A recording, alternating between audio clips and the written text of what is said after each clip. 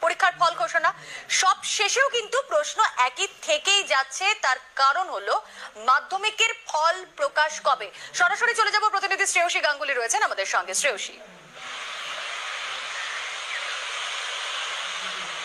দেখো, এখনও পর্যন্ত যা পরিস্থিতি হয়ে রয়েছে, তাতে মাধ্যমিক তাতে জুলাই মাসের দ্বিতীয় সপ্তাহের মধ্যে মাধ্যমিকেরও ফল প্রকাশিত হয়ে হয়ে যাবে বলে আশা করা হচ্ছে।